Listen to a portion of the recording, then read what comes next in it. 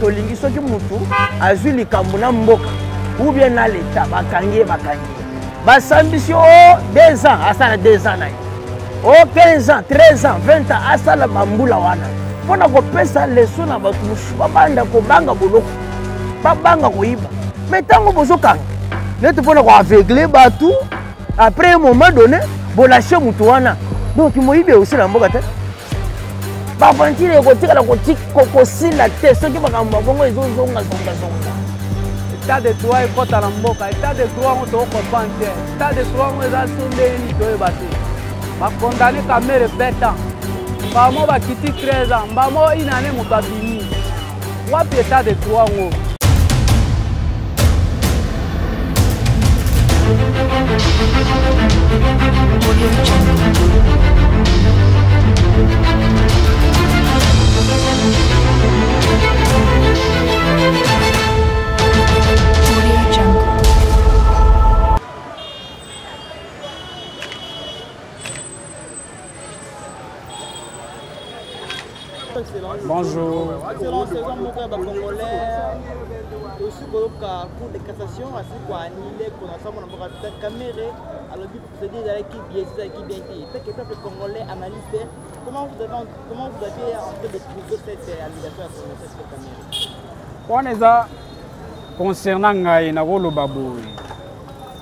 balobaki concernant procès ya kamere balobi non adetourne mbongo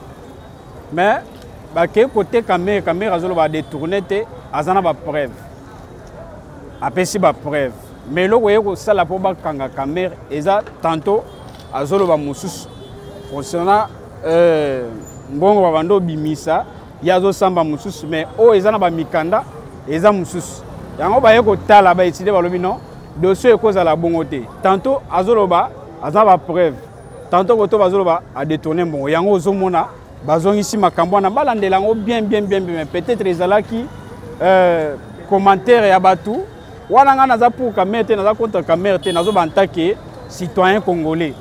yana obi oyo kamere bando oloba na monoko ya mosusu concernant oyo abandi okomisa na bamikanda eza mosusu yango mpe justice etali non ole ya tokendaka kaka bongo vome kamera azongela toboma après tolandela baprocédure nyonso je pense azalaki babandi opesa bata moko boye kende yo olobi ozala bapreuve kende akei euh, abimisi bapreuve na ye mais justice aondimaka te azozoba non adetourne kaka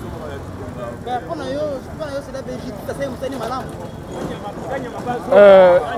quelque part justice asalaki mosala malamu me aye kobebisa susu ye moko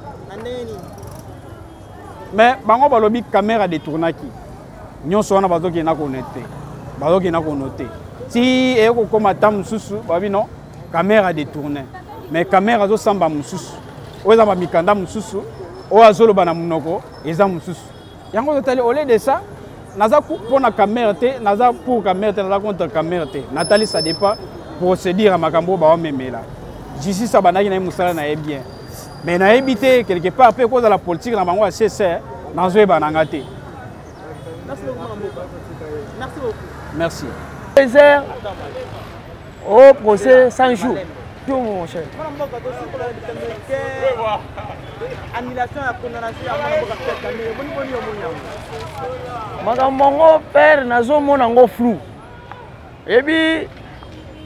la fois passée tolekisa bangonga ebele hmm? procès 100 jours ya Kamere bazosambisa ye ntongo midi mpoko butu mposa yango ezokende ti ba 23 heures ye kutu ozoloba ke nalembi mwasi na mwana awa lobi baliaki te biloko ya bongo me toyebaki ke kaka justice moko moko nde ekataka ba 13 ans ba 20 ans me lelo ekomi o cour de cassation ya libere ekomi makambo o cour d'appel e ntango tozomona mpe bapublication toza na image moko ke dans quelques jours okoyoka kaka ke baakite ye mais eloko moko tozomona fulu eza nini na, na, na, na bokonzi ya faci ela moko oyo ezwamaki ya moto asali mbeba bakangi ye ezalaki ela moko ya bien me kobanda koakite bato eza neti moto asali lisusu eloko te mpo bato babandaki kobanga sikoyo boloko makasi ntango bakomonaka bakangi moto oyo ayibaki oyo asalaki boye quelque jour balashe ye bachantier na ye ezotongama kaka bakonte na ye zaka mobimba okomona ke kimoyibi ekoleka na ya liboso parceke moto akoloba ah ata nakei prison nakobima bachantier na ngai bazotonga bakonte na ngai kaka ndenge ezalaki wana donc rien ne change mpo na ngai nalingi justice na biso lokola eza indépendante ezala soki mutu amerite kosala boloko bakati bambula asala bambula wana te kokobanda makambo ya complication ya kuzu oyo oh, basali boye basali boye eza donc eza bien te biso bana mboka tolingi soki mutu azwi likambo na mboka ou bien na leta bakangi ye bakangi ye basambisi yo oh, deux ans asala deux ans na ye o oh, 15 ans 13 ans 20 ans asala bambula wana mpo na kopesa leso na bato mosusu babanda kobanga boloko babanga koyiba me ntango bozokanga neti mpo na koaveugle bato après un moment donné bolashe moto wana donc moyibi ekosila mboka te baaventire ekotikala kosila te soki makambo ya bongo ezozongazongazonga ah. merci beaucoup papa bonjour lelo waketelaki ye 13 ans 20 ans lelo toloba oyo kuwa alobi ke anile condamnation wana bon likambo wana ekamwisaki mpe biso nyonso parce que ministère public déjà alakisi baéclaircir bapreuve nyonso tangible ke vital kamere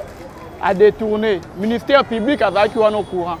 mais ekomi comme si ba jeu moko boye soki basali mwa kokanga yo mwa une année babimisi yo bake na ozongi na sena kuna ozongi osala mosala neti bawili bakonga babimisi ye ake azongi soki akosala mosala donc mboka oyo ekomi nango kaka so detene la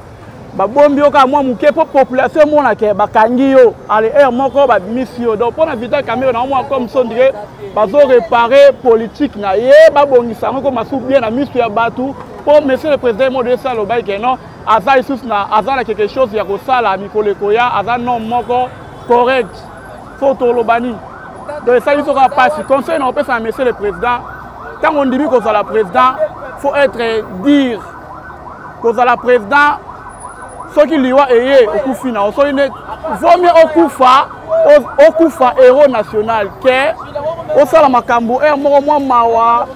kozala mpena président de république eza te ke fo koyoka mawa so ndeni te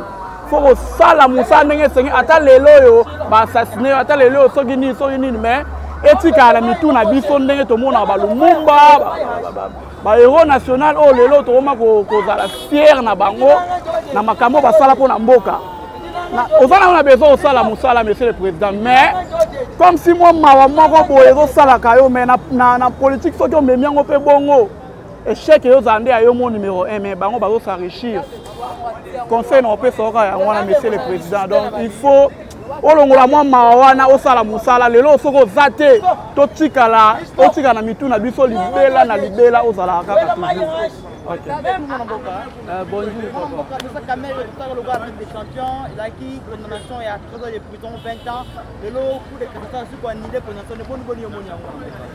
Ah, merci papa mpona maloba na yo euh, makambo wana elekela ye biso makasi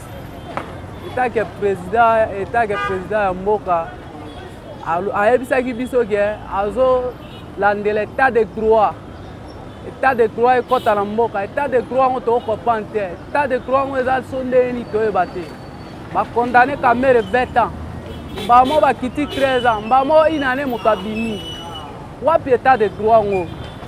tomona mpena ke mboka oyo tookende bien te président lokola alobaki ke te azolandela makambo etat de droit ifo alandela yango ntina suka mpo epesa baoyo baza na nsima kobangi mpo bayeba ke non so tosali mabe etat de droit ekolandela biso sikoyo baoyo baza na nsima bazoyiba wana bakobanga eloko te mpo ayebi ke akokoma ne kuna akobima na ye ata bakondane ndenge nini akobima na ye makambo wana esali biso mpasi mingi fo président mpenza atia makambo ne na mosala déjà alapaki ndai mpenza ke azolanda état de droit il faut akenda nango ntina suka ah toi d'accord te toi d'accord te merci beaucoup ah, bonjour excellence excellence euh, tosi komona cour de cassation jusqu'à annulé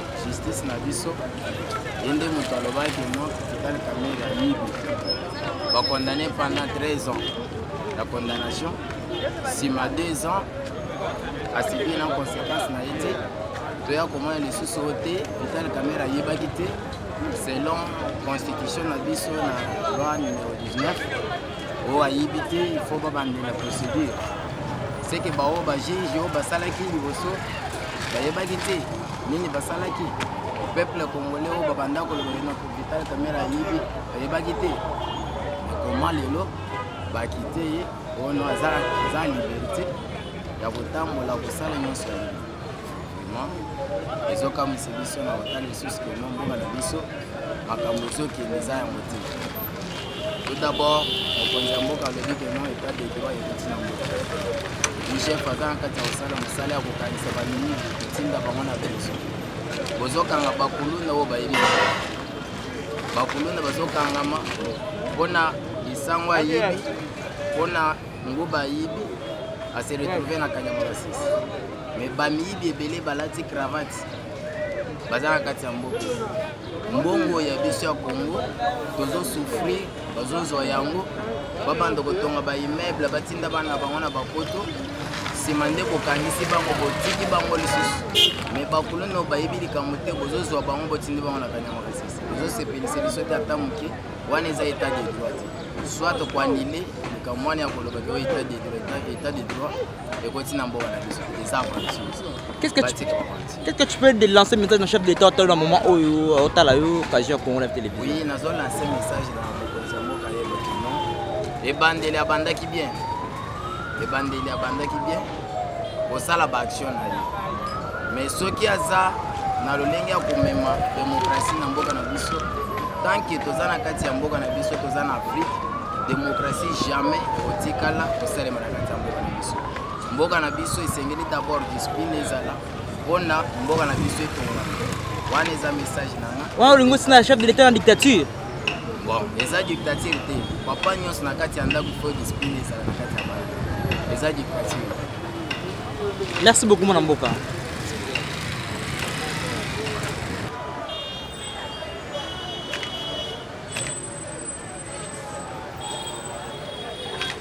Bonjour, Excellence. Bonjour. Excellence, je suis comme mon mwana mboka Fred Kamere, ba suis quoi nile coordination na ye. Teke moyimbo ko mona ndenge nini? Bon, eloko na moni ndenge bati ndeko Kamere, c'est que selon nga na moni que état de droit eza te parce que mutu ba condamna ye, mutu eh, mutu ba condamna ye, babi que il faut a purger peine na ye ya 13 ans. Siko ba enlever makambo wana nyonso que eza lisusu likambo wana eza lisusu te, c'est que etat de droit eza te oui nandimi yango ke eza te parce que mutu bango moko nde bakondana ye eza kutu biso te balakisa biso ke oye il faut 20 ans après 20 ans bakie na appel o 13 ans siko ekomi ke pene na ye eza lisu te seke tomoni ke etat de droit eza te bon il faut ba renforcer justice eloko tosenga ba renforcer justice justice ezala na efficacité ya bien mpo tomona yango mpo tomona donc polele ya makambo nyonso mpo tomona yango mpenza polele na nyonso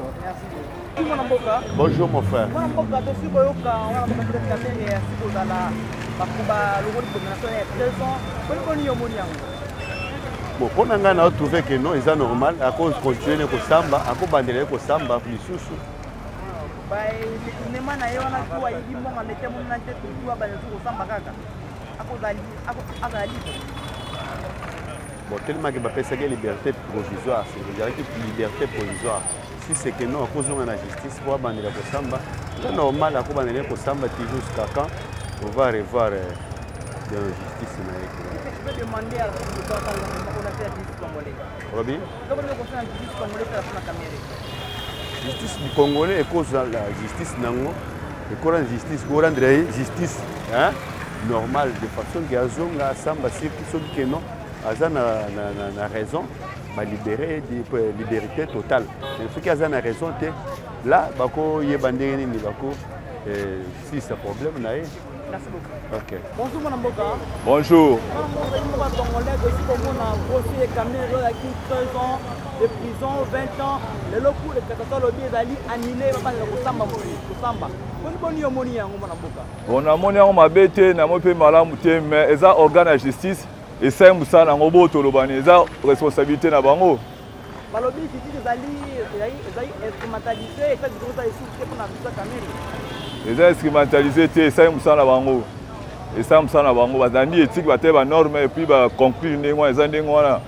justice ekozala instrumentalise na nani na ndenge nini eza justice esali mosala na yango eh ben oui na ndenge justice arrete déjà naza d'accord mpo justice na biso na mboka nde arrete